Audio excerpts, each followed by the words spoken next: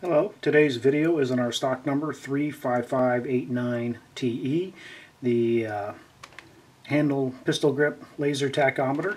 Uh, comes in a little clamshell plastic uh, enclosure. Go ahead and open that up. And it also comes with the uh, reflective tape and a small manual.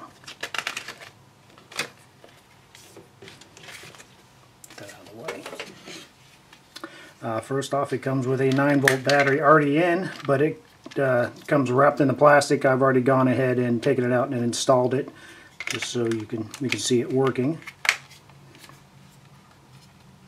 You have your on-off, backlighting.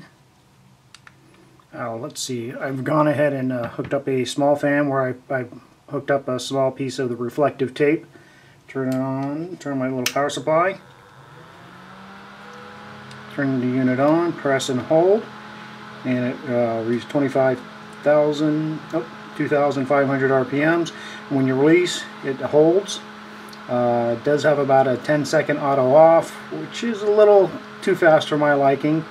But uh, turn it back on again. You have your backlighting. I'll vary the, the speed here just so you see it working.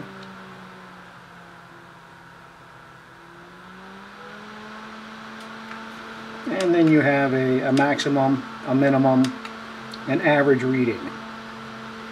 Okay, that's the manual mode. Let's go into the auto mode, and there you don't have to press the uh, the button. It just it keeps uh, continuously running.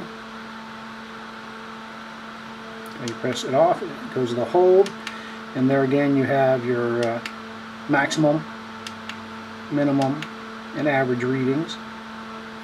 Okay, let's get into the sampling.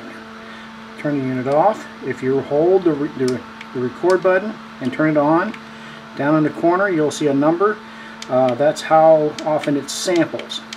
Since this is just a quick little video, let's, let's turn it down to one, one recording per second. Now if I turn it on, and backlighting on, and do uh, auto, and hit record, See, it's taking a sample every couple seconds. Turn it up. Turn it down. Okay, turn the record off. Hold. And then we can go to minimum, maximum, average. Now we're back to the setting.